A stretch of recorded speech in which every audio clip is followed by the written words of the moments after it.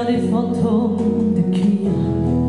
Tu aimes la vie à en mourir. Toi, l'amour que l'on consomme, qu'un murmure fait retentir. Tu donnes